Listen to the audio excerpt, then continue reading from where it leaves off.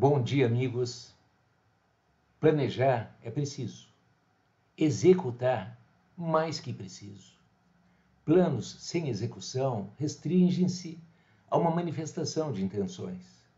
Planos têm que ser construídos com extremo cuidado, total competência e sensibilidades, sensibilidade únicas.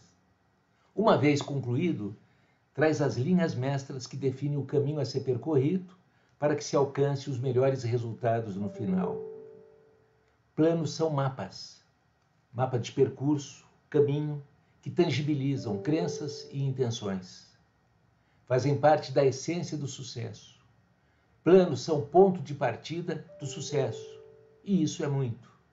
A partir daí, o plano consagra-se e traz os resultados almejados, dependendo da qualidade e da felicidade da e na execução.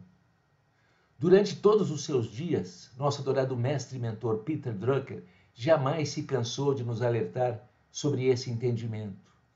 De diferentes formas e em variados momentos e situações, Drucker reiterou que, aspas, planos não passam de ótimas intenções adormecidas em papel, a menos que sejam verdadeiramente implementados, vou repetir, Planos não passam de ótimas intenções adormecidas em papel, a menos que sejam verdadeiramente implementados.